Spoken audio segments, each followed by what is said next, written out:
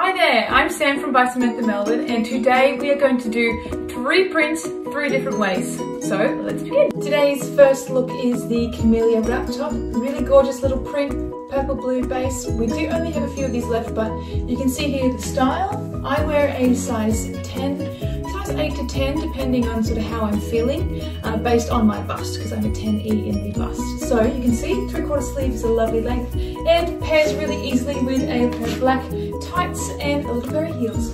Simple. Our next look here is the Camellia in the belle blouse. It's a lovely long length with a lovely scoop neck and a bell sleeve. Really lovely. You can tuck it into your higher pant like so. You can wear it with a pencil skirt, it's a very lovely way to add a bit of colour to your day. And here we have the three quarter sleeve knee length Camellia wrap dress. Now I'm wearing a size 8.